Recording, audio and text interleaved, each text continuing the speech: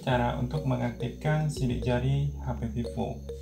Jadi HP Vivo itu letak sidik jari bisa di sini, di belakang atau di bawah layar. Jadi sesuaikan tempatnya sama saja. Jadi buka pengaturan.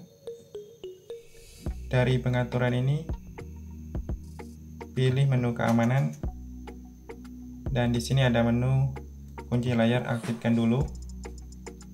Yang ini. Ini sidik jari.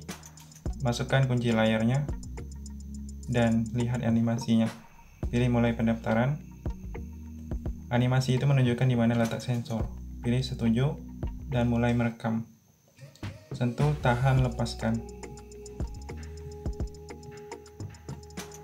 Dengan posisi yang beda-beda. Bisa kalian gerakkan sedikit jari Anda.